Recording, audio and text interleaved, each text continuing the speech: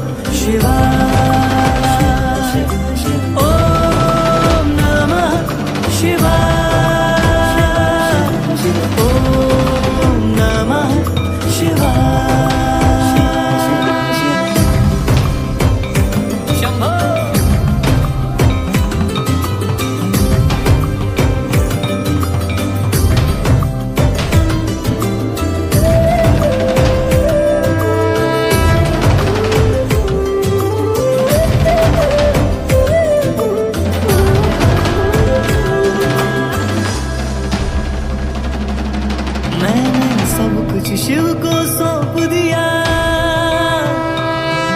हर क्षण बस महादेव का नाम लिया